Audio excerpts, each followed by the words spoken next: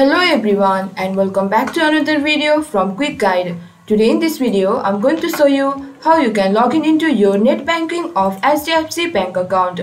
So follow some simple steps which I'm going to show you. First of all, open your web browser and in the search bar, type in net banking HDFC bank login. And as the search result, you can see on the first option, HDFC bank net banking. Click on it. It will take you to the login portal of HDFC bank and over here enter the user ID or customer ID of your account and click on continue. Then you will be redirected to the password section and from there enter your password and click on login.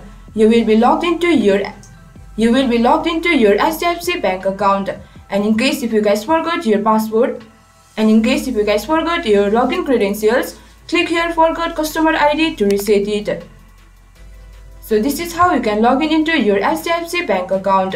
This was for this video. Hope you guys understand and find our video helpful. If you did, please do not forget to hit the like and subscribe to our channel. And also hit the bell icon for latest videos and drop a comment for reviews and more content like this. I will see you guys again in our next video. Thank you guys for watching.